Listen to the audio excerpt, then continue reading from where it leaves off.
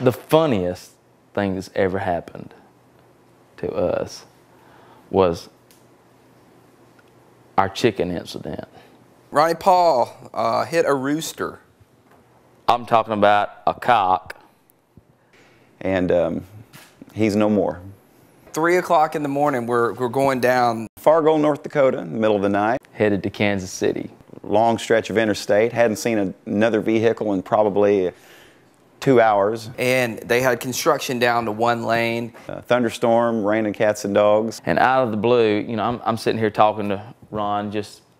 And uh, lo and behold, uh, there's a rooster standing in the middle of the interstate. And Ron goes, Oh my God! Like, and I look up. Pow! He hits a rooster.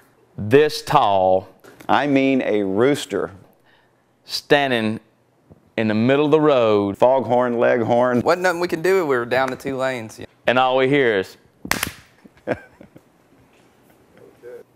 and that was it.